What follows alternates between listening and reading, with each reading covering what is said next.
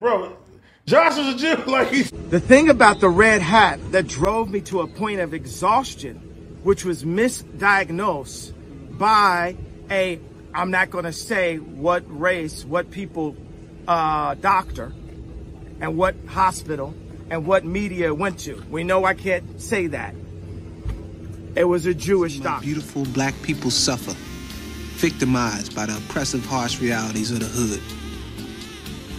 I guess even though we were free, we were still slaves in the mind. Message.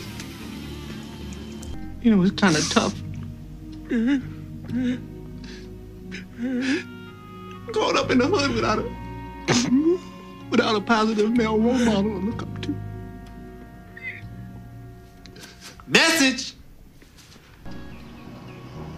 Never forget, man. What they don't know, don't show. Just don't care about being a menace to South Central while they drink their juice in the hood. That's what it's all about, Tre. The fuck is he talking about? Two, one.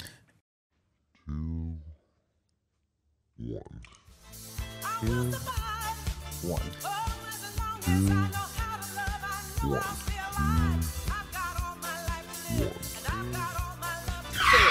Hold up. Wait a minute. Something ain't right.